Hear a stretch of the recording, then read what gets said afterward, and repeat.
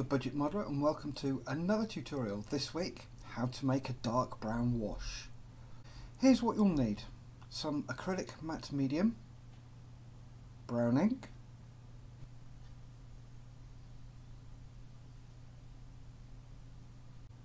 black ink, a measuring device for fluids. I'm using both a pipette and a little measuring cup. Also you'll need a container with a lid 20ml of deionized or distilled water. In the container I've smeared some washing up liquid just on the insides. This will help to break the surface tension. Now we add about 2ml of brown ink.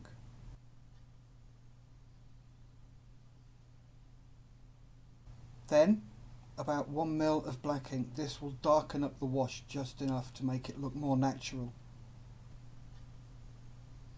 And give it a good old stir. Now pour that mixture into your washing up liquid smeared container. Next, pour a small amount of deionized water into the cup and add about 2 ml of matte medium and give it a good old stir. Once the medium is mixed in, it can then be poured into the container. Use the rest of the deionized water to clean out your measuring cup and then pour that into the container too.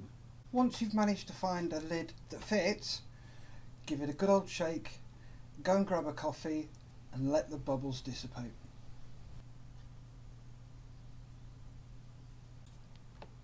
Once the bubbles have dissipated, you can then try it out. I've got a spare tornado wheel here, unprimed, unpainted, so we'll just slop a load of it all over it and then put it to one side, wait for it to dry and have a look.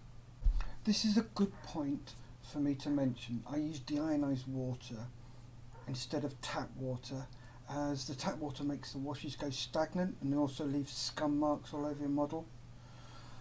Another thing, you can make any coloured wash you like. I've got a grey wash, a black wash, a brown wash. I've got a skin wash which I make from uh, red, white, yellow and brown. And now I've got this dark brown wash. As you can see, it pulls out the details beautifully. So there you have it, one dark brown wash. Remember, if you like what you see, Please subscribe to my channel, help it grow, get the message out there to as many modelers as possible. Like the video and ring my bell. Remember, stay safe, keep on modelling.